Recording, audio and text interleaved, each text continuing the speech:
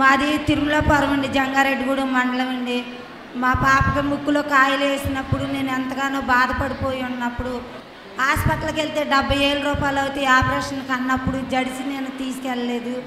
అయ్యగారితో ప్రార్థన చేయించుకున్నాక నా బిడ్డ ముక్కులో కాయలన్నీ కరిగిపోయినాయి. ఒక్క కాయ కూడా లేదు గాలి స్వచ్ఛంగా పీల్చుకుంటుంది నా బిడ్డ. అయ్యగారి ప్రార్థన ద్వారాగా మేము మా కుటుంబం ఇలా ఉంటుంది. ఈ నా బిడ్డ ఈ ముక్కులో కాయల గురించి ప్రతి ఒక్కరికే నేను సాక్ష్యం చెప్పుకుంటున్నాను. అమ్మ నా బిడ్డని ఇలా తీసుకెళ్ళాను తగ్గిపోయినాయి మీరు కూడా రండి. దేవుడు ఎంతగానో మిమ్మల్ని ముట్టి స్వస్థపడతాను నన్ను మమ్మల్ని ముట్టి స్వస్థపరిచాడు. మేము అడిగిన ఎల్లా ఇచ్చాడు దేవుడు. అని నేను ఎంతగానో అందరికీ ఇంటింటికి తిరిగి సువార్తగా చెప్పుకుంటున్నాను. ఇంకా నా కుటుంబం ఎంతో బలపడాలని నేను ఆశపడుతున్నాను.